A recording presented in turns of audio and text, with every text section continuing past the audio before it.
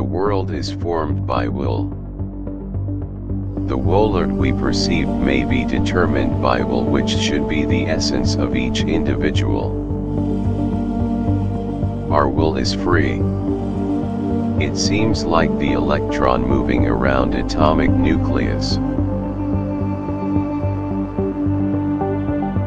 The will tell us what the purpose is and support the belief why we have to live.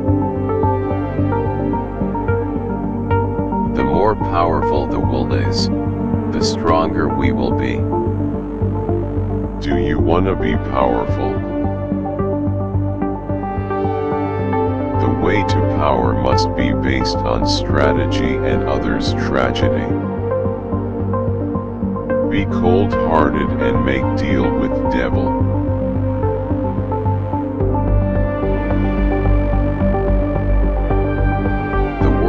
See may not be what it really is. There is no absolutely rational world to everyone because it determined by our will. So, there is no truth at all.